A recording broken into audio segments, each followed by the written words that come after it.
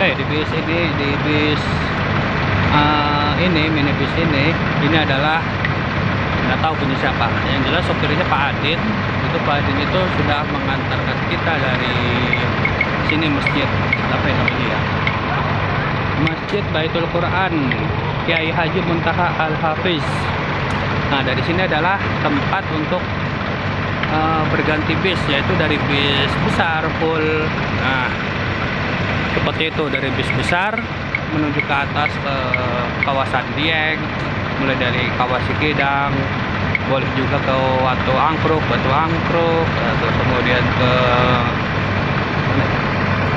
ya? Pokoknya daerah wisata Dieng lah kawasan Gedang dan seterusnya Candi Arjuno dan sebagainya. Nah beliau sempat cerita banyak mengenai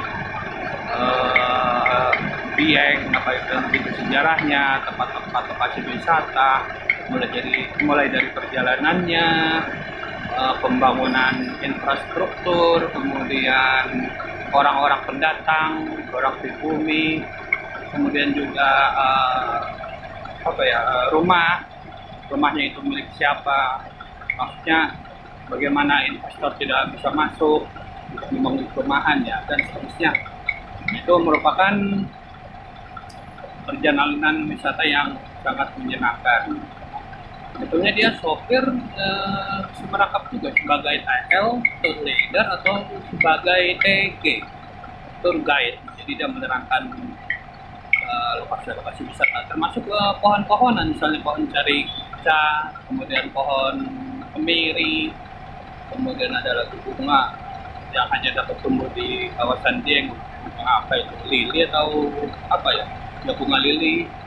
Pokoknya banyak deh cerita-cerita yang dia utarakan di dalam bis. Jadi perjalanan wisata kita bukan hanya bukan hanya merupakan perjalanan wisata tapi juga ada perjalanan sejarah. Nah dari balik semua ini merupakan uh, menjadikan saya cerita.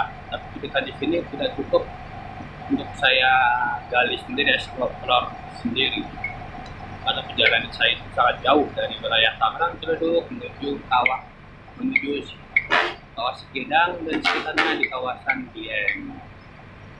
Oke, saya akan bersiap-siap untuk naik kendaraan. Ada kendaraan sudah siap. Nah, ini kendaraan saya.